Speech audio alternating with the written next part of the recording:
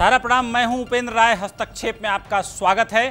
Corona संकट के बीच 20 लाख करोड़ के आर्थिक पैकेज से देश की अर्थव्यवस्था को कितनी गति मिलेगी? आज इसी मुद्दे पर बात करेंगे।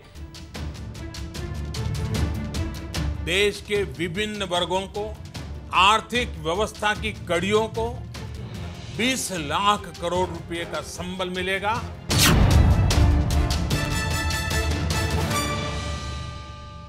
भारत दुनिया के उन पाँच देशों में से एक है जिसने कोरोना संकट से उबरने के लिए बड़ा आर्थिक पैकेज घोषित किया है। इसी बीच वित्त मंत्री निर्मला सीतारमण ने पहले चरण में करीब 6 लाख करोड़ के बूस्टर डोज का ऐलान किया है। इसमें सबसे ज़्यादा राहत एमएसएमई सेक्टर को मिली है। इनके अलावा दूसरे सेक्टरों के लिए भी कई अहम ऐलान किए गए हैं। कुल 20 लाख करोड़ के इस पैकेज से क्या देश की अर्थव्यवस्था पटरी पर आ जाएगी? क्या देश आत्मनिर्भर हो जाएगा? क्या आपदा अवसर में बदल जाएगी? आर्थिक पैकेज से लोगों का आत्मविश्वास कितना बढ़ जाएगा? ये कुछ सवाल हैं, जिनका जवाब हम आज के हस्तक्षेप में तलाशेंगे। देश के विभिन्न वर्गों को, आर्थिक व्यवस्था की कड़ियों को 20 लाख करोड़ रुपए का संबल मिलेगा।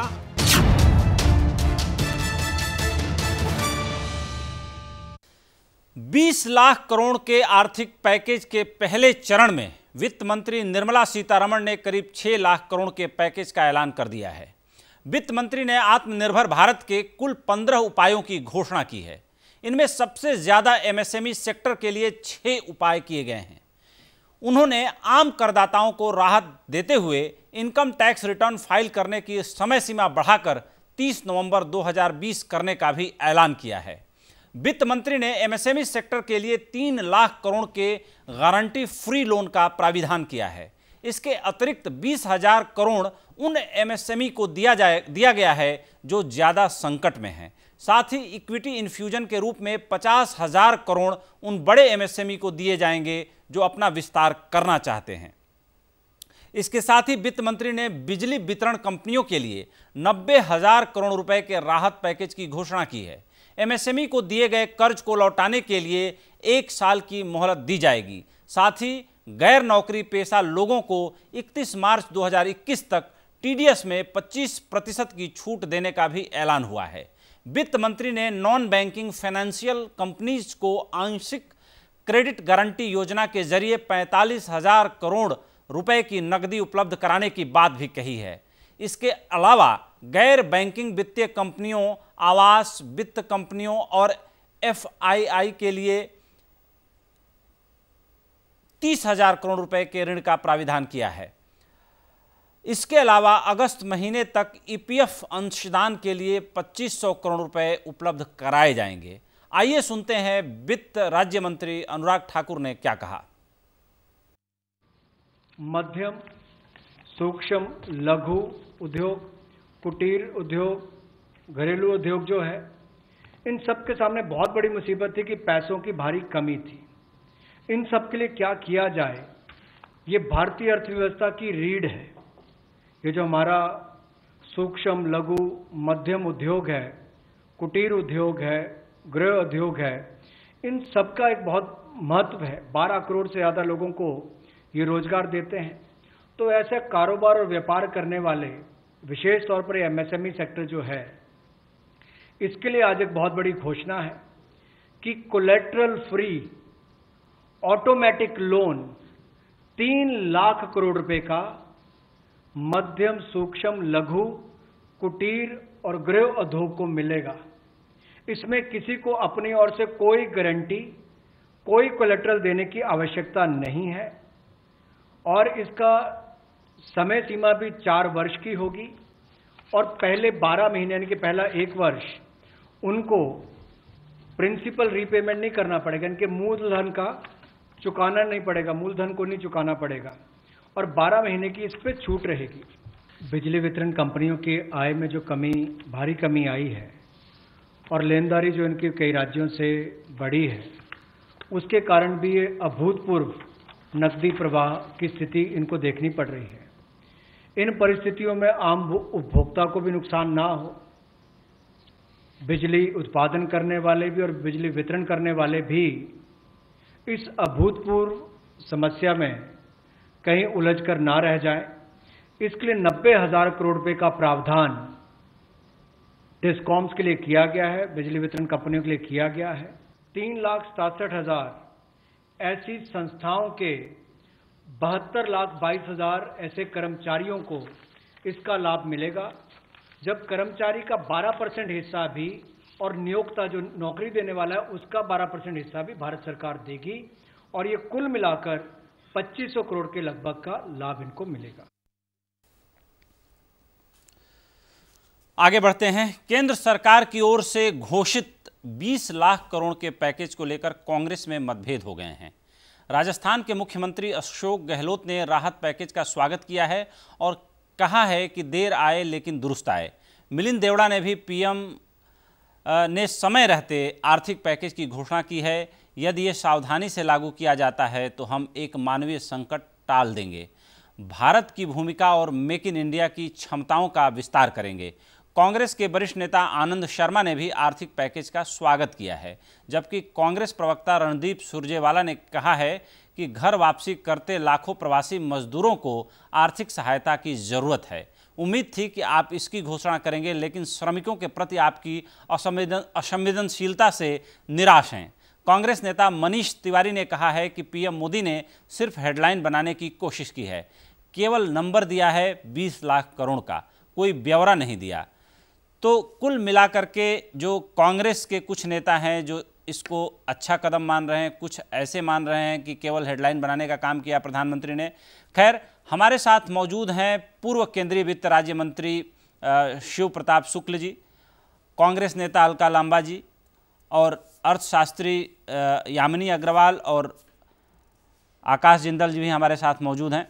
इस चर्चा को आज हम लोग आगे बढ़ाएँगे कि 20 लाख करोड़ का जो पैकेज है, वो क्या सिर्फ़ हेडलाइन बनाने के लिए प्रधानमंत्री ने दिया है या इसके पीछे बहुत गहरी रिसर्च है, बहुत सोच समझ के सभी स्टेक होल्डर्स की राय ले कर के और एमएसएमई से लेकर असंगठित क्षेत्र से लेकर, संगठित क्षेत्र से लेकर, बैंकिंग से लेकर, नॉन बैंकिंग से लेकर के, बड़े उद्योग से लेकर के, छोटे उद्योग से लेकर के, एमएसएमई से लेकर के, सबके हितों को साधने की कोशिश की गई है, सबका ध्यान रखने की कोशिश की गई है। इस पूरी चर्चा में आज हम इस बात को तलाशने की कोशिश करेंगे, इन सवालों को ढूँढने की कोशिश करेंगे। सबसे पहले वित्त राज्य मंत्री शिव प्रताप शुक्ल जी से सवाल ले रहा हूँ। आप ये बताएँ कि जो 20 लाख करोड़ का जो एक फिगर है, पूरी दुनिया ने जो जो आर्थिक पैकेज घोषित हुए हैं पूरी दुनिया में, उसमें अमेरिका भी है, उसमें जर्मनी भी है, जापान भी है, तमाम देश हैं। कुल मिलाकर के हम पाँचवें नंबर के देश साबित हो रहे हैं, जो अपनी कुल जीडीपी यानी तीन ट्रिलियन डॉलर के आसपास की हमारी अर्थव्यवस्था है, उसका दस फ़ीसदी यानी 210 लाख करोड़ की अर्थव्यवस्था है। और उसमें करीब 10 फ़ीसदी यानी 20 लाख करोड़ का राहत पैकेज प्रधानमंत्री ने कल देश के नाम संबोधित करते हुए घोषित किया है। आप क्या मानते हैं, जिस तरीके से कुछ लोग इसकी आलोचना कर रहे हैं कि हाथ में क्या आया, लोगों के हाथ तक क्या पहुँच रहा है, ये बड़ा सवाल है, जबकि टीडीएस में आपने छूट दे दिया, आरबीआई ने जो बैंकों को लिक्विडिटी लिक्विडिटी दी थी, उसको भी आपने इसी पैकेज में जोड़ दिया। तो कुछ लोगों का अनुमान है कि सरकार अपने पास से सत्तर हज़ार से एक लाख करोड़ रुपए दोबारा इन्फ्यूज कर रही है। बाकी तो जो सरकार की ओर से सहूलियत दी गई है और सहूलियत के दौरान गवर्नमेंट एक्सचेकर में जो पैसे जमा होने थे, उस पैसे को समय पर जमा करने की किसी की स्थिति भी नहीं है, कोई जमा कर भी नहीं पाएगा तो सरकार ने एक अपनी सुविधा के हिसाब से उसको पैकेज में जोड़ के दे दिया है। मैं आपके प्रतिक्रिया प्रतिक्रिया जानना चाहता हूँ कि ये पैकेज कितना ठोस है कितना दूरगामी है और आत्मनिर्भर बनाने के लिए कितना कामयाब होगा? जी तो स्पष्ट कर दूँ जी। कल जब माननीय प्रधानमंत्री जी अपने विषय को रख रहे थे तो उन्होंने यह नहीं कहा कि, बीस लाख करोड़ जो मैं दे रहा हूँ वह पिछला जो दिया है वह उसमें सम्मिलित नहीं है। इन्हों उन्होंने बहुत साफ़ शब्दों में कहा था वो सम्मिलित है। बिल्कुल। कोई ये नहीं कहा था कि सम्मिलित नहीं लोग जो कह रहे हैं कि क्या दिया। अब अगर आप ये देखें तो आज एमएसएमई सेक्टर को जब वित्त मंत्री श्रीमती निर्मला जी अपनी बात रख रही थी तो उन्होंने कहा कि तीन लाख करोड़ कोलेटरल तो यह दिया, तभी बात आई। नब्बे हज़ार करोड़ पावर सेक्टर को उन्होंने ये करके दिया। हाथ में क्या आया, अगर ये देखना चाहते हैं तो उन्होंने दो हज़ार रुपए के हिसाब से अगर देने का काम किया तो आठ दशमलव सात करोड़ किसानों को दो हज़ार रुपए का भुगतान किया। वो कहीं कहीं उनके खाते में गया उनके हाथ में गया। बिल्कुल। जनधन खाते में जो सरकार ने देने का काम किया वह उनके हाथ में गया। तो दो बातें इसमें आई है। एक बात तो ये आई है कि आर्थिक दृष्टि से उठाने के लिए और दूसरा ये आया है कि लोगों के हाथ में ये दोनों बातें आई है आ, केवल आलोचना का विषय नहीं करना चाहिए। हम ये समझते हैं कि निश्चित रूप से हर चीज़ पर एक एक विषय पर अगर बात हो मुझे लगता अर्थशास्त्री लोग और अच्छी तरह से इसको परिभाषित कर सकते हैं। केवल हम पार्टी के लोग ही विषय नहीं जानते अर्थशास्त्री और अच्छी तरह से जानते हैं। और वह और अच्छी बात रख भी सकते हैं। अब आप ये सोचिए कि उन्होंने बावन हज़ार छह सौ छह डीबीटी के माध्यम से इकतालीस करोड़ अकाउंट होल्डर को दिया। अठारह हज़ार करोड़ कीमत का जो खाद्यान्न। राशन दिया दालें दिया और सब दिया वो भी वो भी वो समय उनहत्तर करोड़ लोगों को दिया। तो ये जो हाथ में जा रहा है, वह हाथ में है उपेंद्र जी, जिसको लोग कहें कि हाथ में क्या है। तो दोनों देखा गया है कि जैसे कांग्रेस के लोगों ने कह दिया कि साहब किस मजदूर जा रहे हैं। इस सरकार ने तो यह भी किया कि केवल कार्ड होल्डर को नहीं बल्कि जो लोग कार्ड होल्डर नहीं है उनको भी आ, उन्हीं के आधार कार्ड पर ही वो करके दे दिया जाए लेकिन उनको भूखा न रहने दिया जाए उनको भी दिया जाए। ज़ाहिर सी बात तो है सर सरकार किसी को भूखा नहीं रहना रखना चाहती ये कोई भी सरकार ऐसी असंवेद असंवेदनशील नहीं है जो ये कहे कि हम लोगों को भूखा रखना चाहते हैं लेकिन लोग भूखे रह जाते हैं उसके पीछे हज़ार कारण गिनाए जा सकते हैं। मैं सवाल अलका लांबा जी से ले रहा हूँ। कांग्रेस का प्रतिनिधित्व कर रही हैं यहाँ पर। अलका जी, आप ये बताएँ कि 20 लाख करोड़ का पैकेज प्रधानमंत्री ने घोषित किया है और ये कहते हुए किया है कि पहले के जो पहले जो राहत दी गई है, जो स्टिमुलस पैकेज आरबीआई ने दिया या हमने जो दिया, वो हम इस 20 लाख में समाहित करते हुए और अपनी व्यवस्था को ध्यान में रखते हुए ये 20 लाख करोड़ का पैकेज हम घोषित करने जा रहे हैं। हालाँकि जितने पिंक पेपर्स हैं, वो अनुमान लगा रहे थे कि पाँच लाख से दस लाख करोड़ के बीच का कोई पैकेज प्रधानमंत्री घोषित कर सकते हैं। ऐसी स्थिति में प्रधानमंत्री ने पैकेज से भी ज़्यादा कल जो अपने भाषण में ज़ोर दिया, वो है भरोसे का पैकेज लोगों के मन में एक विश्वास जगाने की कोशिश की कि ये पैकेज तो मैं दे रहा हूँ, लेकिन इसके सहारे हमें और ज़्यादा आत्मनिर्भर बनना है, अपने को मज़बूत बनाना है, और अब दूसरे पर आश्रित नहीं रहना है। आपकी क्या प्रतिक्रिया है 20 लाख करोड़ के राहत पैकेज पर? और प्रधानमंत्री ने जो कुछ कहने की कोशिश की उस पर।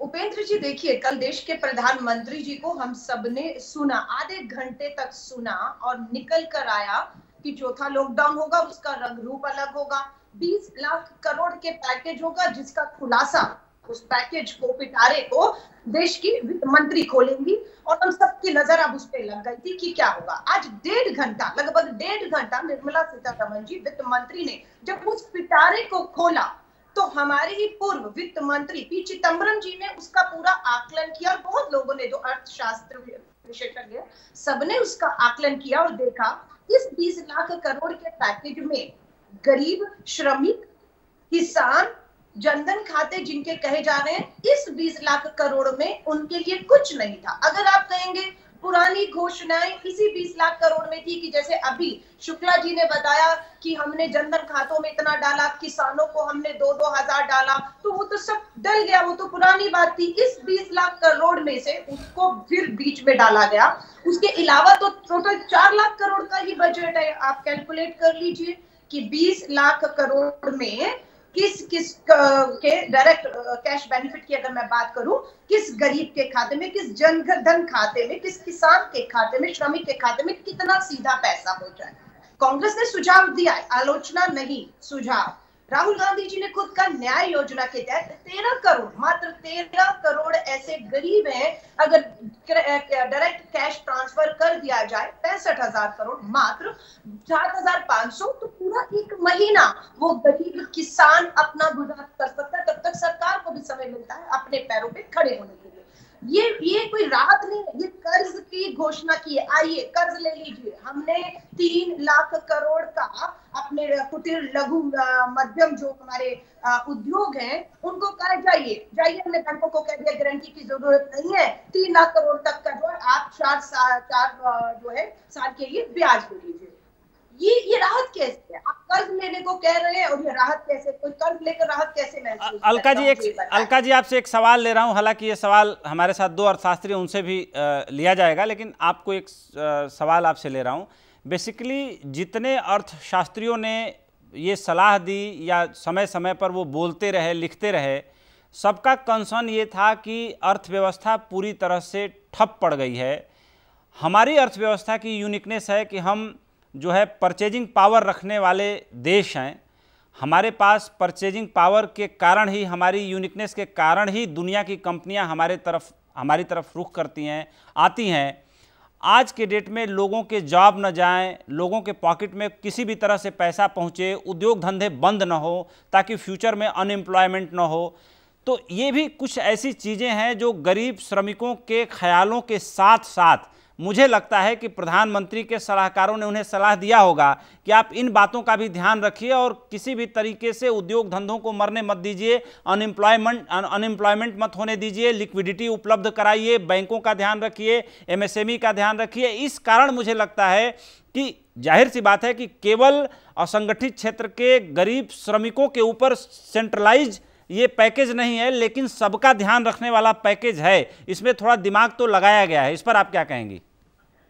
उपेंद्र जी, आपने बिल्कुल सही बात पकड़ी है कि परचेजिंग पावर आप आप, हम जो न्याय योजना की बात राहुल गांधी जी करते रहे, पचहत्तर सौ, सात हज़ार पाँच सौ अगर डाल देंगे, हर एक के खाते में सीधा तो वो बैंक से वो पैसा निकालेगा परचेज करेगा। वो पैसा सिस्टम में, व्यवस्था में आएगा। खरीदारी बढ़ेगी, पैसा सिस्टम में आएगा। और जिससे जो है सेंट्रिक गरीबी होना चाहिए। सड़कों पर मजदूर है। सुप्रीम कोर्ट में केंद्र ने लिख कर दे दिया, कोई मजदूर सड़कों पर नहीं है। पर आज भी आप देखिए, मिलो मजदूर चल रहा है। और ये सारा केंद्रित, मजदूर पे ही होना चाहिए था। निर्मला सीतारमन जी से प्रश्न किया गया, पत्रकार ने किया था। बेरोजगारी के ऊपर उनका क्या कहना है? उन्होंने कहा इसकी बात अगले पैकेज में करिएगा? उन्होंने इस बात को बेरोजगारी को टाल दिया। उन्होंने परचेजिंग पावर को कैसे हम लोग लोगों को पैसा सीधा दे ताकि वो मार्केट में जाएँ और पैसा खर्च करे, सामान खरीदे और सात करोड़ के करीब छोटे दुकानदार हैं, उनको मदद मिलेगी। उसके ऊपर वो प्रश्न को पूरी तरह टाल गई और ये कह रही अगले पैकेज का आप इंतज़ार करिए। यानी कि सरकार के पास उसका कोई हल आज की तारीख में नहीं है। अलका जी अलका जी हमारे साथ दो अर्थशास्त्री भी हैं प्रोफेसर यामिनी अग्रवाल और आकाश जिंदल। लेकिन उन लोगों से सवाल लेने से पहले एक रिपोर्ट दिखाना चाहूँगा अपने दर्शकों को। कोरोना संकट में प्रधानमंत्री नरेंद्र मोदी ने जो 20 लाख करोड़ के राहत पैकेज की घोषणा की है वो दुनिया के सबसे बड़े आर्थिक पैकेजों में से एक है। कोरोना वायरस के प्रकोप और लॉकडाउन के कारण अर्थव्यवस्था को हम हुए नुकसान की भरपाई के साथ देश को आत्मनिर्भर बनाने की दिशा में ये पैकेज मील का पत्थर साबित हो सकता है। ये मील का पत्थर कैसे साबित होगा देखते हैं इस रिपोर्ट में। हाल में सरकार ने कोरोना संकट में अर्थव्यवस्था को आत्मनिर्भर बनाने के लिए 20 लाख करोड़ का आर्थिक पैकेज कई मायनों में अहम है। जीडीपी के लिहाज से भारत का ये राहत पैकेज दुनिया में अब तक घोषित आर्थिक पैकेज में पांचवा सबसे बड़ा पैकेज है। कोरोना महामारी से ध्वस्त हुई अर्थव्यवस्था को उबारने के लिए दुनिया का सबसे बड़ा आर्थिक पैकेज जापान ने दिया, जो वहाँ की जीडीपी का इक्कीस दशमलव एक फ़ीसदी है, जबकि तेरह फ़ीसदी के साथ अमेरिका दूसरे स्थान पर है। स्वीडन ने अपने कुल जीडीपी के 12 फ़ीसदी के बराबर राहत पैकेज दिया है, जो कि तीसरे स्थान पर है, और दस दशमलव सात फ़ीसदी के साथ जर्मनी चौथे स्थान पर है। जीडीपी के करीब 10 प्रतिशत रकम के बराबर का राहत पैकेज का ऐलान कर भारत दुनिया में पाँचवें नंबर पर है। प्रधानमंत्री नरेंद्र मोदी ने राहत पैकेज का ऐलान करते हुए स्पष्ट किया कि कोरोना काल में जो भी आर्थिक घोषणाएँ की गई हैं, उनको मिलाकर ये पैकेज 20 लाख करोड़ का होता है। वित्त मंत्री निर्मला सीतारमन ने मार्च महीने में करीब एक दशमलव सात शून्य लाख करोड़ के राहत पैकेज का ऐलान किया।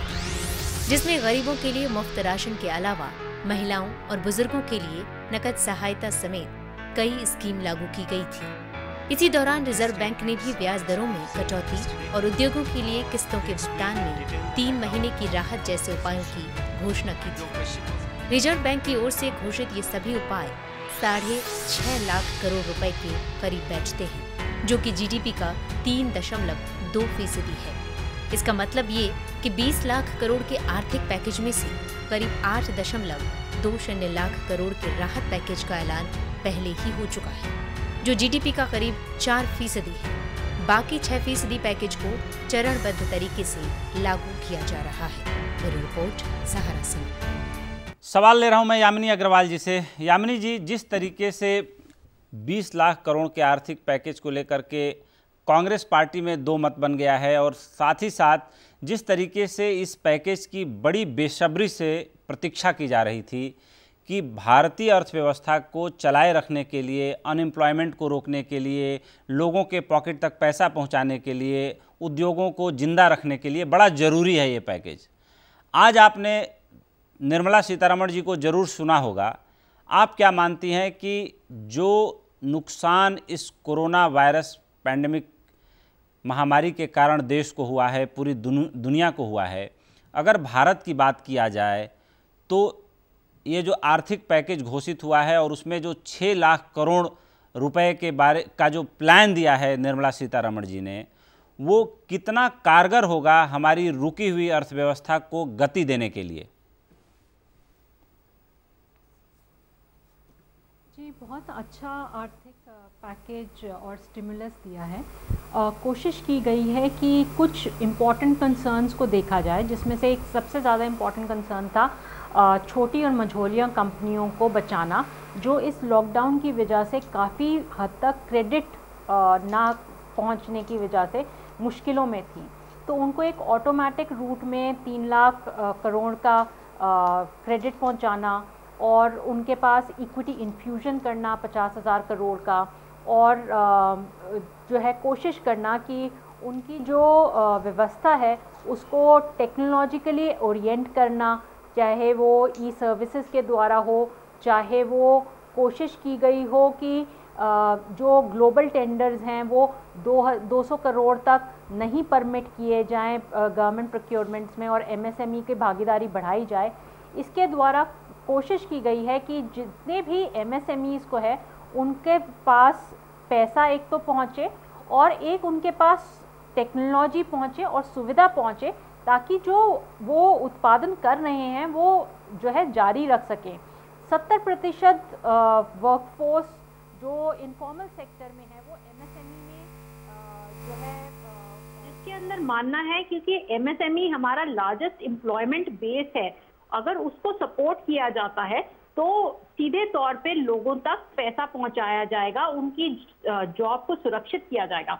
और साथ ही साथ कोशिश की गई है कि प्रोडक्टिव मैनर में ये नहीं कि लोगों तक सिर्फ़ एक खाने तक का पैसा पहुँचाया जाए, जो पहले एक स्कीम में जहाँ पे एक लाख सत्तर हज़ार तक की घोषणा की गई थी, उसमें डायरेक्ट बेनिफिट ट्रांसफ़र के थ्रू पैसा पहुँचाया गया था या फार्मर्स को पैसा दिया गया था।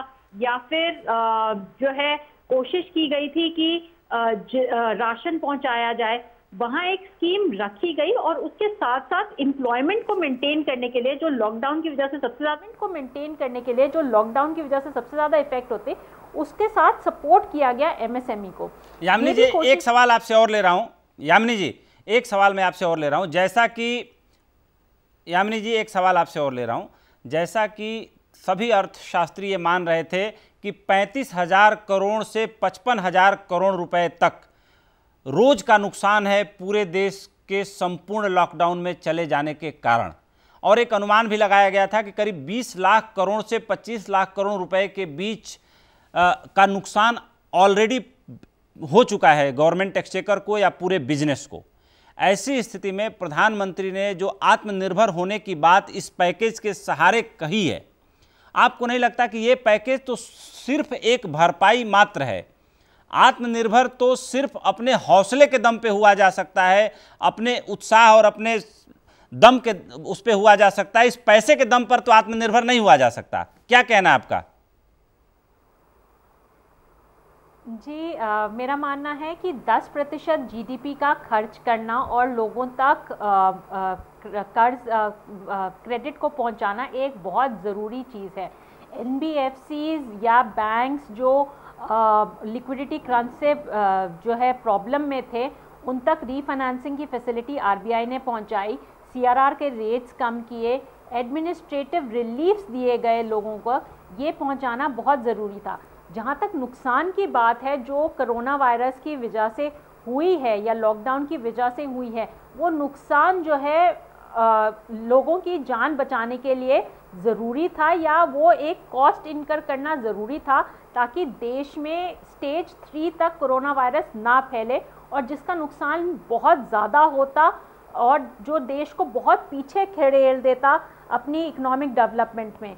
इसलिए कोशिश की गई है कि जो लॉकडाउन है उसके तहत स्टेज थ्री का जो जिसकी वजह से कोरोना बहुत ज़्यादा बढ़ सकता था और लोगों की ज़िंदगियों से खेल सकता था, उसको रोका जाए और लोगों तक आर्थिक आर्थिक चीज़ें पहुंचाई जाएँ, जैसे क्रेडिट है, जैसे लिक्विडिटी है, ताकि इकोनॉमी का चक्का जो है वो चले और 10 प्रतिशत काफ़ी होता है इकोनॉमिक स्टिमुलस देने के लिए और लोगों तक ये विश्वास दिलाने के लिए कि सरकार आपके साथ है। यामिनी जी यामिनी जी बहुत बेहतर सवाल बहुत देर से आकाश जी प्रतीक्षा कर रहे हैं।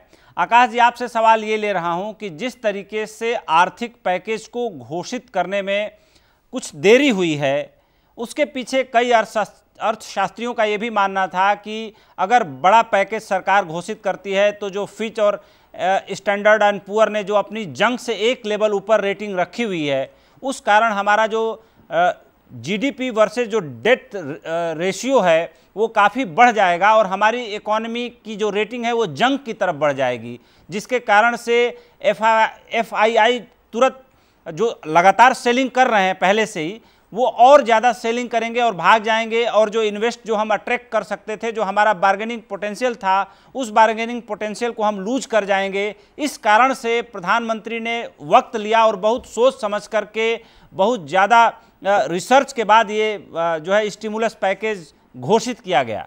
क्या कहना है आपका?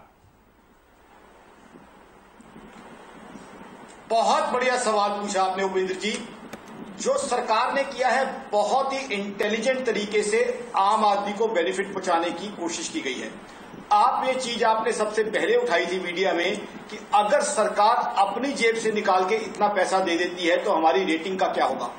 आज सरकार ने बहुत एक इंटेलिजेंट अटेम्प्ट की है। सरकार ने अपनी जेब से कुछ नहीं दिया है। सरकार ने मात्र एक सपोर्ट का रोल प्ले किया है कि अगर एमएससीबी बोरो करता है बिना कोलेट्रल के तो सरकार गारंटर के रूप में खड़ी रहेगी।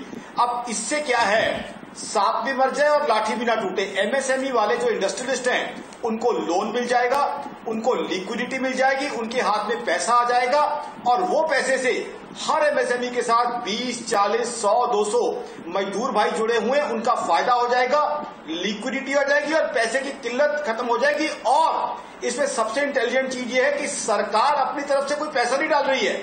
ये पैसा लेंड किया जाएगा बैंक्स की तरफ़ से। सरकार मात्र एक फैसिलिटेटर के रूप में, एक गारंटर के रूप में खड़ी हो रही है। तो ये बहुत ही इंटेलिजेंट और क्रिएटिव प्लानिंग है कि आपने जो है लोगों को बेनिफिट भी दे दिया, आम आदमी को बेनिफिट दे दिया एमएसएमई को दे दिया, और कहीं पे उसकी वजह से आपने कोई कर्जा नहीं उठाया। सरकार को उसके वजह से कोई बहुत ज़्यादा बोरिंग नहीं करनी पड़ी। ये एक इंटेलिजेंट और क्रिएटिव प्लानिंग है और मैं सरकार को मुबारकबाद देता हूँ कि ऐसे समय में इतनी बढ़िया प्लानिंग की गई है। दूसरा एक चीज़ और बता दूँ, ये एक बड़ा प्रैक्टिकल सोल्यूशन है और आज की बीमारी को देखते हुए देसी भाषा का इस्तेमाल करूँगा, एक रामबान दवा है। देखिए, आज एमएसएमई को क्या था? किसी भी व्यापारी से बात कीजिए, मैं इकोनॉमिक टर्म्स को अलग छोड़ के बात कर रहा हूँ। वो कह रहा था, भाई साहब, मुझे पैसे की किल्लत है तो उसके पास लिक्विडिटी आ जाएगी। लिक्विडिटी आ जाएगी तो उससे जो हमारे कांग्रेस के मित्र एक बहुत बढ़िया उन्होंने इशू उठाया था कि एक गरीब मजदूर को हम कैसे मदद कर सकते हैं तो वो हमारे मजदूर भाइयों को रोज़गार मिलेगा। देखिए, आज स्थिति क्या है? अनएम्प्लॉयमेंट 27.1 परसेंट पे है। आज की तारीख में centre for monitoring of Indian economy का डेटा है बिकॉज़ कोविड की वजह से अनएम्प्लॉयमेंट बढ़ा हुआ है। दूसरी तरफ़ हम देखें आईएलओ जो यूएन की बॉडी है, वो ये कहती है कि 40 crore Indian workers could be pushed deeper into poverty तो ऐसे में आम मजदूर के साथ खड़े होना हमारी ड्यूटी थी। आपने बिल्कुल सही कहा उपेंद्र जी। आज बाकलेस हो मूडीज हो ज़ीरो परसेंट जीडीपी ग्रोथ हमारी प्रिडिक्ट कर रहे हैं। अब जहाँ तक आपका सवाल है कि टाइमिंग टाइमिंग मेरे हिसाब से बहुत सही है बिकॉज़ आज की तारीख में क्या है लॉकडाउन को हम धीरे धीरे ओपन करने की प्लान कर रहे हैं। जब लॉकडाउन को ओपन करेंगे तभी डिमांड और कंजम्पशन बढ़ाने का फ़ायदा है। अगर ये चीज़ जब लॉकडाउन चल रहा था, मान लीजिए पाँच अप्रैल, आठ अप्रैल को किया जाता, लोगों के हाथ में पैसा भी आ जाता तो लोग जाके खर्च ना कर पाते। इंडस्ट्रियलिस्ट को लिक्विडिटी भी मिल जाती तो वो इंडस्ट्री ना चला पाता। इसके साथ साथ कहीं ना कहीं मुझे सरकार का इरादा यह भी लगता है कि धीरे धीरे लॉकडाउन को कम किया जाए इकोनॉमी को ओपन अप किया जाए। जो आत्मनिर्भर वाली बात है, वो मुझे बहुत ही पॉजिटिव लगी। आज चाइना को लेकर दुनिया भर में नेगेटिव माहौल बन रहा है। तो ऐसे में हम एफडीआई का पैसा हिंदुस्तान में ला सकते हैं, अमेरिका हो, यूरोप हो, या इवन जो चीन के पड़ोसी मुल्क हैं, चाहे जापान हो, चाहे साउथ कोरिया, मेरे हिसाब से बहुत संभावना बनती है कि वहाँ से पैसा आएगा बिकॉज़ हमारे प्राइम मिनिस्टर साहब ने बहुत अच्छी ब्रांडिंग और रेपो वहाँ के ग्लोबल लीडर से बना रखा है। तो आई थिंक आत्मनिर्भर भी एक बड़ी अच्छी प्रैक्टिकल प्लानिंग है। इसके अलावा जो चीज़ें भी टच नहीं हुई हैं। आकाश जी एक ब्रेक ले रहे हैं एक ब्रेक लेना पड़ेगा। वक्त हो चला एक ब्रेक का। हम चर्चा को जारी रखेंगे। आप सभी हमारे साथ जुड़े रहिए। एक बहुत छोटा सा ब्रेक ले रहे हैं। तुरंत वापस लौटेंगे।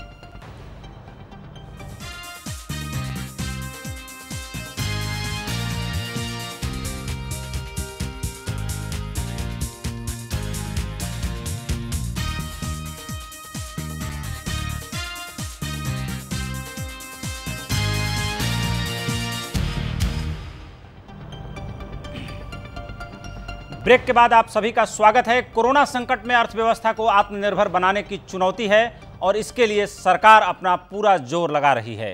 लेकिन करीब 50 दिन से ठप पड़े उद्योग धंधों को फिर से खड़ा करना आसान भी नहीं। एक अनुमान के मुताबिक लॉकडाउन पीरियड में देश की इकोनॉमी को करीब 25 लाख करोड़ का नुकसान हो चुका है और ये आंकड़ा 40 लाख करोड़ तक पहुँच सकता है, जो कि जीडीपी का करीब 20 फ़ीसदी होगा। लॉकडाउन की वजह से देश की अर्थव्यवस्था को अब तक करीब 25 लाख करोड़ का नुकसान होने का अनुमान है। अगर आगे लॉकडाउन नहीं बढ़ता है तो भी हालात सामान्य होने तक नुकसान का यह आंकड़ा 40 लाख करोड़ तक पहुँच सकता है, जो कि जीडीपी का करीब 20 फ़ीसदी है। अगर प्रति व्यक्ति नुकसान का अनुमान लगाया जाए तो हर भारतीय पर करीब पंद्रह हज़ार रुपए बैठता है। दुनिया भर की रेटिंग और मॉनेटरी एजेंसियों ने भी दुनिया के तमाम देशों की तरह 2020-21 में भारत के विकास दर में भी बड़ी गिरावट का अनुमान लगाया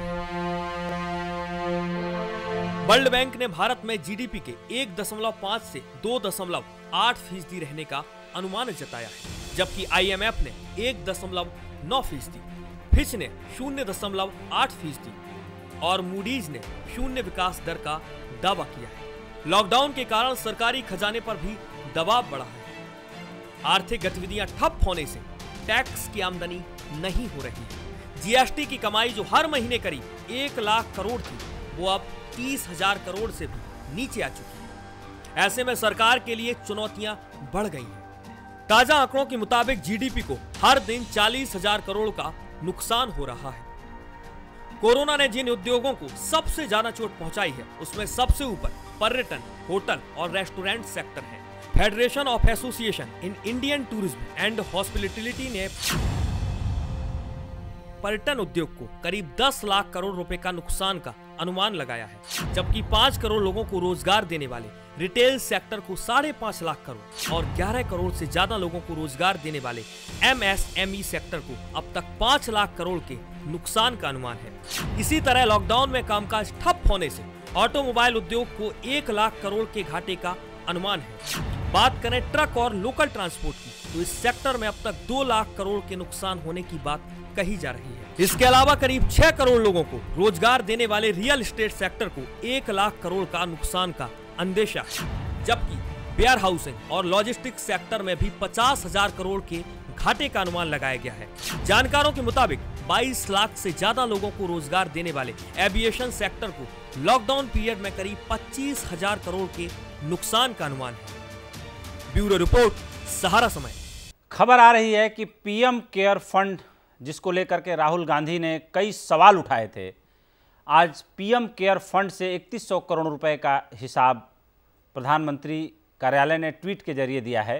3100 करोड़ रुपए आवंटित करते हुए प्रधानमंत्री ने कोरोना वायरस से बचाव को लेकर उठाए गए कदमों में उपयोग किए गए पैसे का हिसाब दिया है। 2000 करोड़ रुपए वेंटिलेटर खरीदने के लिए, एक हज़ार करोड़ रुपए प्रवासी मजदूरों के लिए और 100 करोड़ रुपए वैक्सीन बनाने के लिए प्रधानमंत्री ने पीएम केयर्स फंड से जारी किया है। प्रधानमंत्री जितनी बार भी देशवासियों से अपील करते हैं तो ज़ाहिर सी बात है कि उस अपील के लिए वो प्रॉपर अपने को जवाबदेह भी मानते हैं। सवाल अलका जी से ले रहा हूँ। Alka ji, PM cares fund को लेकर के लगातार राहुल गांधी जी हमलावर रहे हैं और आप लोगों ने भी समय समय पर इसका हिसाब मांगा है।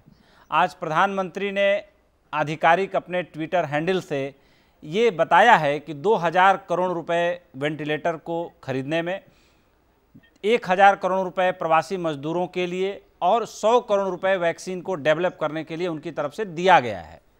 ऐसी स्थिति में आपको नहीं लगता कि एक बड़ा कमज़ोर मुद्दा कांग्रेस पार्टी की तरफ़ से उठाया गया था?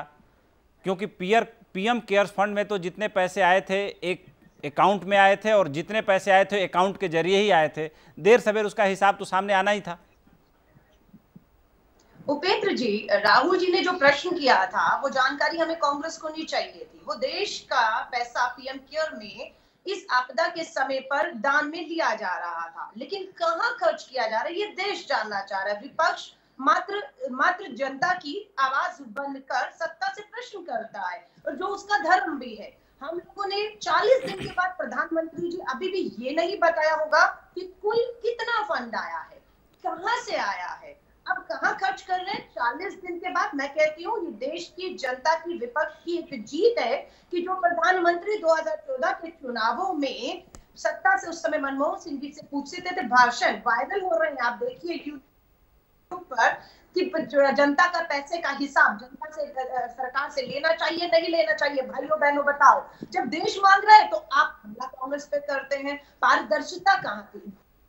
जवाबदेही कहाँ थी? हम तो ये कह रहे थे कि जब रेल विभाग 155 करोड़ रेल मंत्रालय पीएम केयर फंड में दे रहा सकता है तो क्या वो मजदूरों को घर तक पहुँचाने के लिए निःशुल्क ट्रेन की टिकट व्यवस्था नहीं कर सकता था। मजदूरों से पैसे वसूले गए। फिर कहा गया, पचासी प्रतिशत केंद्र देगा, पंद्रह जो राज्य सरकारें देंगी। लेकिन 155 करोड़ रेल विभाग ने पीएम केयर में दिया। जवाब, मांगना जनता के लिए विपक्ष का धर्म था, जो हमने किया है। और आज मुझे खुशी है कि जनता की आवाज़ कर विपक्ष गूंजा राहुल गांधी जी के सामने। प्रधानमंत्री जी को झुकते हुए आज चालीस दिन के बाद पीएम केयर फंड के कुछ हज़ार करोड़ का खुलासा करने पर मजबूर होना पड़ा। है यह स्वेच्छा से नहीं किया गया। ये स्वेच्छा से किया जाता तो पारदर्शिता की जाती।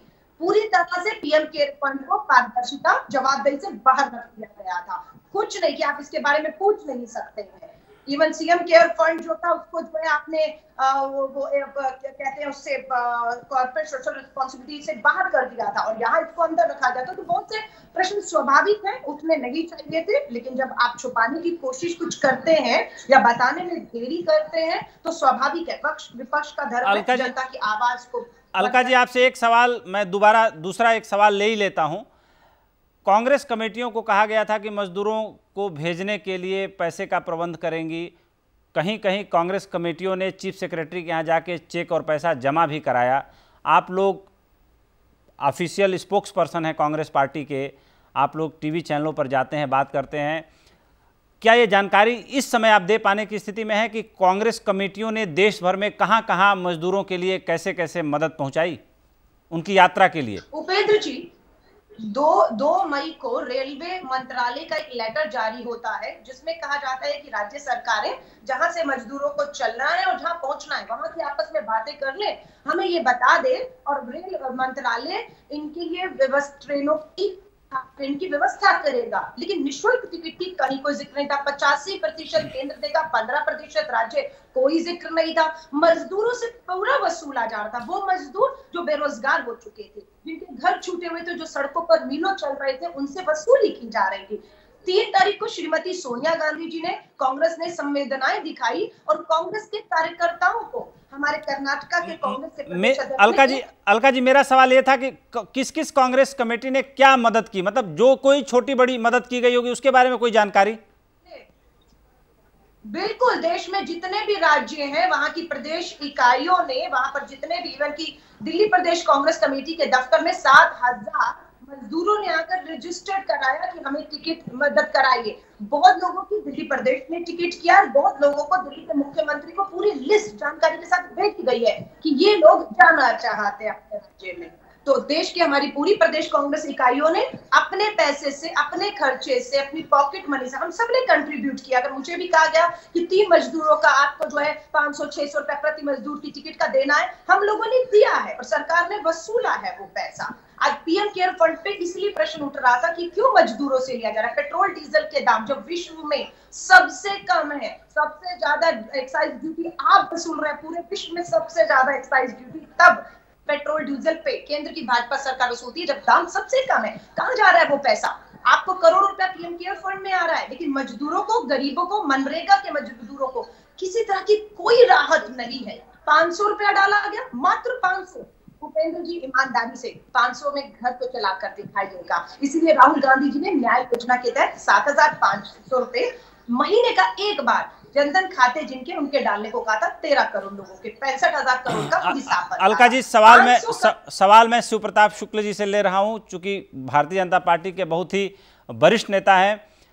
मेरा सवाल है कि मजदूरों के हालात को लेकर के बात अब देश और दुनिया में किसी से छुपी नहीं है। वाकई मजदूर बहुत बुरे हाल में है और बुरे हाल का सामना करते हुए वो हाईवे पर, हाईवेज पे चलते हुए अपने घरों तक कहीं पहुँचे हैं, कहीं पहुँच रहे हैं। श्रमिक स्पेशल भी चलाई गई, देर से चलाई गई। लेकिन एक सवाल उठकर खड़ा हो रहा है कि वो राज्य सरकारें हों या केंद्र सरकार हो।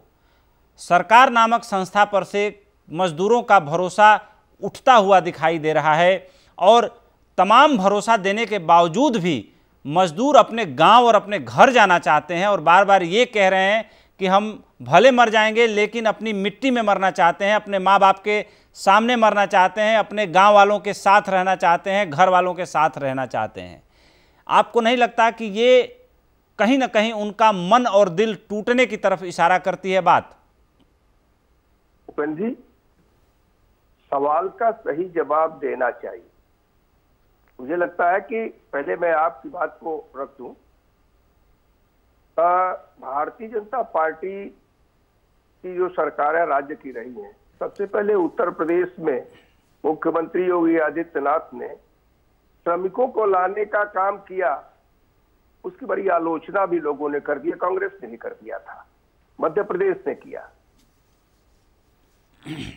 अन्य प्रदेशों ने भी किया, बाद में नीतीश कुमार जी ने इसका प्रपोजल दिया कि ट्रेनों से भेजा जाए। और इस लॉकडाउन में फ़िज़िकल डिस्टेंसिंग के नाते निश्चित रूप से कहीं न कहीं लोग सोच रहे थे कैसे किया जाए, भेजा जाए कि ना भेजा जाए। लेकिन सब निर्णय लिया। प्रधानमंत्री जी के स्तर पर निर्णय लिया गया कि भाई नहीं, चलाना चाहिए। गृह मंत्रालय ने किया, गृह मंत्री जी ने उसको तय किया और तय करने के बाद रेल मंत्री से बात हुई पीयूषी से और रेलवे चली और लेकर के गई लगभग चार लाख मजदूर जो है रेलों से अभी तक अपने अपने स्थान पर पहुँचे। ठीक है राजनीतिक दल होने के नाते कूटनीतिक प्रयत्न भी करना चाहिए, जो अलका जी अभी कर रही थी। लेकिन मुझे लगता है कि कहीं अगर उन्होंने ये देखा होता तो सबसे पहले मजदूरों से पैसा लेने की बात आई तो महाराष्ट्र में महाराष्ट्र में सरकार कांग्रेस समर्थित है शिवसेना की। तो उस पर देखना चाहिए। किसी भी भारतीय जनता पार्टी शासित राज्य से यह नहीं आया कि पैसा लिया गया। कर्नाटका में एक जगह विषय उठे अलका जी, मैं बता रहा हूँ। उठा, तुरंत उसको ये किया गया। बाद में नीतीश जी ने भी कहा कि हम पेमेंट कर रहे हैं, हम अपने आज चले आए मजदूरों को वो भी देंगे। पाँच सौ रुपया अतिरिक्त भी देंगे। ये सही है कि आज भी सड़क पर जो है जिस बात को आपने कहा कि मजदूर अपने मिट्टी में मरना कह रहा है कि हम जाके मिट्टी में मरेंगे सही है कि सड़क पर भी मजदूर जा रहा है। परिस्थिति ऐसी है कि उस मजदूर को रोकने के बावजूद अगर नहीं रोका गया तो उस पर बल प्रयोग नहीं किया जा सकता है। जगह जगह उनको शेल्टर दिया जा रहा है जगह जगह उनको भोजन दिया जा रहा है रोकने का प्रयत्न किया जा रहा है। जितने रुक जा रहे हैं, उसको ज़रूर रोक रहे हैं। जो नहीं रुके हुए, वो चल भी रहे हम ये नहीं कह रहे हैं कि नहीं, ये ये जो है बिल्कुल मजदूरों की स्थिति सबसे खराब थी, तभी यह निर्णय लिया गया कि नहीं, अब मजदूरों को उनको भेजना चाहिए। अभी फिर 16 तारीख से श्रमिक ट्रेन भेजी जा रही है। और श्रमिक ट्रेन में लोगों को भेजने का काम ये कर रहा है। हर प्रदेश इधर तो जो है बिहार ने भी और उत्तर प्रदेश ने भी महाराष्ट्र ने भी सभी मुख्यमंत्रियों ने इस बात को कहा कि भाई जो लोग अभी नहीं गए हैं वो रुके क्योंकि अब उद्योग भी चलने वाले हैं तो उस उद्योग की स्थिति में उनको नौकरी भी मिलेगी। कल ही के इंटरव्यू में जी। आपको पता लगा होगा कि पटना स्टेशन से कुछ लोग दिल्ली के लिए चले मजदूर। उन्होंने कहा कि मैं जा रहा हूँ आप काम करने के लिए जा रहा हूँ तलाश करने के लिए जा रहा हूँ। तो दोनों बातें हो रही कि मजदूर परेशानी में है तो उस पर लेकिन लेकिन ऐसी संख्या बहुत कम है सर। माफ़ी चाहता हूँ आपकी बात सीधे सीधे मैं काट रहा हूँ। अभी वापस लौटने वालों की संख्या अगर कह सकता हूँ कि एक प्रतिशत है तो जाने वालों की संख्या निन्यानवे प्रतिशत है। अलका जी बहुत देर से कुछ कहना चाह रही हैं। अलका जी बताएँ।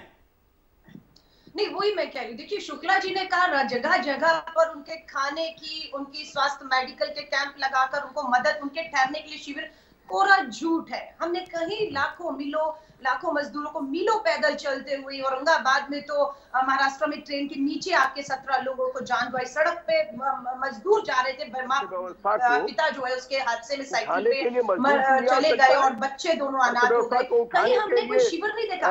जहाँ जब निकलते शिविर खाना पीना स्वास्थ्य मेडिकल सुविधा कुल मिलाकर आज उस मजदूर भारत सरकार पूरी तौर पर उन मजदूरों को उनके घर पर राज्यों के माध्यम से पहुँचाने के लिए संकल्प है। पाँच पाँच बार करोड़ आज लाखों मजदूर सड़कों पर हैं। और आप ये कह रही है उद्योग खुले आज का आंकड़ा पिछहत्तर हज़ार पार कर चुका है। आज कोरोना वायरस के पिछहत्तर हज़ार है। एड्स के डायरेक्टर ने कहा है अभी मई और जून में तो पीक आना बाकी है। आप उम्मीद मत करिए ये जो आपने कुटीर लघु छोटे उद्योगों को जो काय कर्ज ले लीजिए बैंक अल, से जाकर। अलका जी अलका जी देखिए अब तो एन. नारायण मूर्ति इन्फोसिस चेयरमैन ने कहा था कि भूख से ज़्यादा लोग मर जाएँगे कोरोना से मरने के बजाय और नब्बे लाख लोग इस देश में अलग अलग बीमारियों से मर जाते हैं। तो ये एक एक चीज़ निकल के आई है सब इस बात से सहमत है कि हमें कोरोना के साथ जीना पड़ेगा और अर्थव्यवस्था का भी ध्यान रखना पड़ेगा क्योंकि कांग्रेस पार्टी ये सवाल उठाती रही है कि कुछ सौ का आंकड़ा था तो आपने संपूर्ण लॉकडाउन कर दिया, और जब पचहत्तर हज़ार का आंकड़ा है तो आप लॉकडाउन खोल रहे हैं। लेकिन साथ ही साथ कॉन्ट्रेरी ये भी बात देखनी पड़ेगी कि जिस तरीके से लोग दम तोड़ देंगे भूख से, वो ज़्यादा दर्दनाक और खतरनाक होगा। शिव प्रताप शुक्ल जी के पास आ रहा हूँ। सर, बहुत संक्षेप में अपनी प्रतिक्रिया दीजिए। हम अपने प्रोग्राम के अंतिम चरण में अब पहुँच चुके हैं। देखिए, हमारे लिए जन महत्वपूर्ण है। प्रधानमंत्री जी ने साफ़ साफ़ ये कहा कि जान है तो जहान है। इस नाते जन हमारे लिए बहुत महत्वपूर्ण है और उस जन के किसी भी स्थिति में जाकर के भारत भारत के प्रधानमंत्री ने कहा कि हमें कितना भी पैसा खर्च करना पड़ेगा तो हम करेंगे। अभी जो 20 लाख करोड़ की बात आई है जीडीपी का 10 10 परसेंट, वह इसी के लिए है कि इंडस्ट्री भी उठे मजदूर के लिए भी हो लोग विकास भी हो, लेकिन साथ साथ हम भूखे न रहे, इसका भी प्रबंध किया जाए। मैं समझता हूँ कि यही उपयुक्तता जो आज तक आज माननीय प्रधानमंत्री जी ने किया है, उन्होंने हर सेक्टर को छूते हुए, जैसे जिंदल जी ने बताया ना, हर सेक्टर को छूते हुए, सही समय पर सही निर्णय लेते हुए, इस इसको फोकस करते हुए जो है, दिया है, और मजदूर हित, जनहित सब देखा है। आकाश जिंदल जी के पास जा रहा हूँ। आकाश जी जिस तरह से असंगठित क्षेत्र के मजदूर पलायन कर चुके हैं शहरों से बहुत बड़े पैमाने पर, आपको लगता है कि स्टिमुलस पैकेज मिलने के बाद भी एक बड़ी चुनौती सरकार के सामने और उद्योग धंधा चलाने वाले लोगों के सामने कुछ महीने तक रहने वाली है, वो असंगठित क्षेत्र के मजदूरों के चले जाने के कारण? क्योंकि पैसा आ जाएगा, लेकिन काम करने वाले लोग नहीं आएँगे तो क्या होगा? जैसे मुंबई में आप शहर खोल दीजिए लेकिन अगर मुंबई में लोकल नहीं चलेगी तो आठ मिलियन लोग, यानी अस्सी लाख लोग ट्रेनों से कम्यूट करते हैं। जिस दिन आप लोकल खोलेंगे, उस दिन मुंबई खुलेगी। अगर लोकल बंद है तो मुंबई बंद है। आपने बहुत ही प्रैक्टिकल सवाल पूछा है, मेरे तो मन की बात कह दी है। मेरा ये मानना है कि मजदूर भाई यहाँ से गए क्यों? मेरा ये मानना है, जितनी नॉलेज मुझे मजदूर भाइयों के साथ इंटरेक्शन की है, अगर उन्हें यहाँ भोजन मिल रहा होता, अगर उन्हें फैसिलिटीज़ मिल रही होती तो शायद हमारे मजदूर भाइयों को ये मजबूरी ना उठानी पड़ती। दूसरा, जो मुंबई की लोकल की बात कही है, आपने दिल्ली की मेट्रो की बात कही है, वो एक बहुत बड़ा चैलेंज है, उपेंद्र जी, हमारे सामने, कि उसको हम कैसे टैकल कर पाएँगे। दिल्ली और मुंबई को अगर चलाना है तो वहाँ मेट्रो, यहाँ लोकल बस यहाँ मेट्रो लोकल बसेज और वहाँ लोकल ट्रेन चलानी होगी। तो कहीं ना कहीं इसके लिए हमें कोई इनोवेटिव प्लानिंग करनी होगी। कि सोशल डिस्टेंसिंग मानता हूँ, मुंबई की लोकल की बात करें तो मैंने खुद उसमें यात्रा की हुई है। वहाँ सोशल डिस्टेंसिंग शायद प्रैक्टिकली पॉसिबल ही नहीं है। जिस तरीके से लोग एक साथ बिल्कुल जो है वहाँ पे जिस तरह की पैसेंजर ट्रैफ़िक वहाँ पे होता है तो कहीं ना कहीं out of the box ideas लाने पड़ेंगे। क्योंकि अब मजदूर भाइयों को हमें यहाँ रोकना है। इकोनॉमी ओपन अप हो रही है। मजदूर भाइयों को भी रोज़गार चाहिए। इंडस्ट्री को मजदूरों की रिक्वायरमेंट है तो कहीं ना कहीं out of the box planning करनी पड़ेगी कि मजदूर भाइयों को रोका जाए आकाश जी उनको इंडस्ट्री आकाश जी यामिनी जी से एक छोटा सा रिएक्शन ले रहा हूँ उसके बाद मैं प्रोग्राम के अंतिम चरण में प्रवेश कर जाऊँगा और फिर आप लोगों को मुझे धन्यवाद कहना पड़ेगा।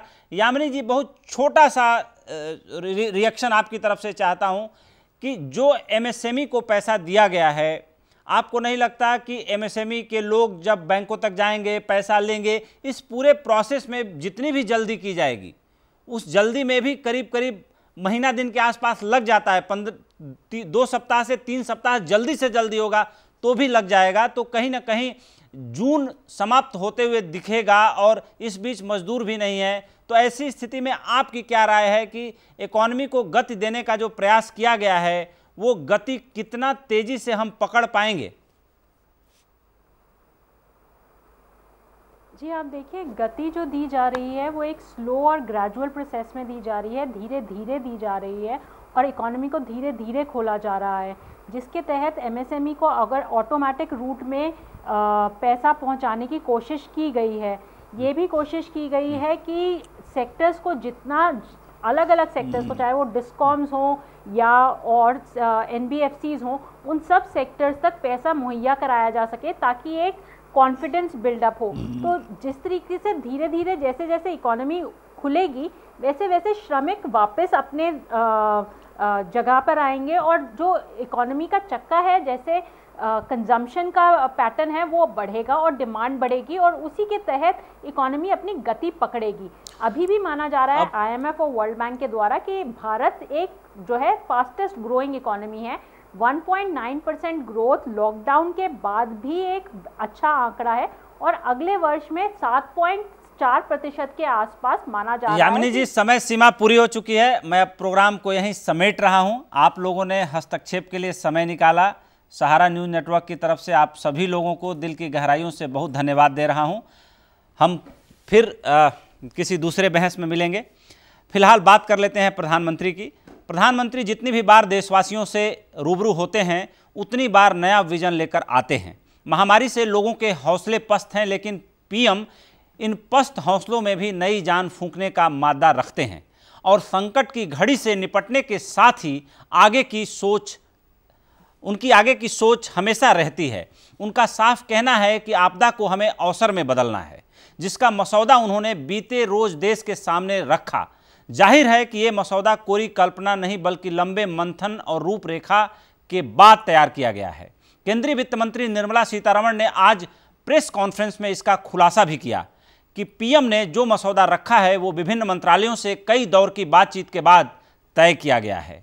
आप खुद सुनिए देश की दशा और दिशा बदलने के लिए प्रधानमंत्री का विजन क्या है? इक्कीसवीं सदी भारत की हो, ये हमारा सपना ही नहीं, ये हम सभी की ज़िम्मेदारी भी है। लेकिन इसका मार्ग क्या हो? विश्व की आज की स्थिति हमें सिखाती है कि इसका मार्ग एक ही है। आत्मनिर्भर भारत। हमारे यहाँ शास्त्रों में कहा गया है एश पंथा, यानी यही रास्ता है आत्मनिर्भर भारत। साथियों, आत्मनिर्भर भारत की ये भव्य इमारत पाँच पिलर्स पर खड़ी होगी। पहला पिलर, इकोनॉमी। एक ऐसी इकोनॉमी जो इंक्रीमेंटल चेंज नहीं, बल्कि क्वांटम जंप लाए। दूसरा पिलर इंफ्रास्ट्रक्चर एक ऐसा इंफ्रास्ट्रक्चर जो आधुनिक भारत की पहचान बने। तीसरा पिलर, हमारी सिस्टम एक ऐसा सिस्टम जो बीती शताब्दी की रीति नीति नहीं, बल्कि 21वीं सदी के सपनों को साकार करने वाली टेक्नोलॉजी ड्रिवन व्यवस्थाओं पर आधारित हो। चौथा पिलर, हमारी डेमोग्राफी दुनिया की सबसे बड़ी डेमोक्रेसी में हमारी वाइब्रेंट डेमोग्राफी हमारी ताकत है। आत्मनिर्भर भारत के लिए हमारी ऊर्जा का स्रोत है। पांचवा पिलर, डिमांड। हमारी अर्थव्यवस्था में डिमांड और सप्लाई चेन का जो चक्र है, जो ताकत है, उसे पूरी क्षमता से इस्तेमाल किए जाने की ज़रूरत है। तो प्रधानमंत्री के विजन को पूरी, पूरे देश और पूरी दुनिया ने कल देखा और जिसकी चर्चा हो रही है। आज हस्तक्षेप में इतना ही, लेकिन सहारा न्यूज़ नेटवर्क की मुहिम है कि कोरोना से हमें लड़ाई हर हाल में जीतना है। हमें नाउमीद नहीं होना है, हमें मायूस नहीं होना है। हमें इस जंग से आगे निकलना है और हर हाल में आगे निकलना है। हौसला बनाए रखना, अंधेरा ढल जाएगा, गम की घटाओं से ही खुशियों का चाँद निकलेगा। हस्तक्षेप में हमें दीजिए इजाज़त। कल फिर हाजिर होंगे और फिर तलाश करेंगे एक नए मुद्दे के साथ, नए सवालों के साथ हस्तक्षेप की के एक नए एडिशन को। सारा प्रणाम।